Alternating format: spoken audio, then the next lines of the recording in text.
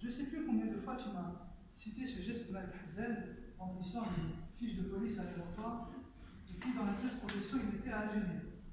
Ah, l'Algérie, cette Algérie dont tu as fait, envahissant amoureusement dans une improbable passion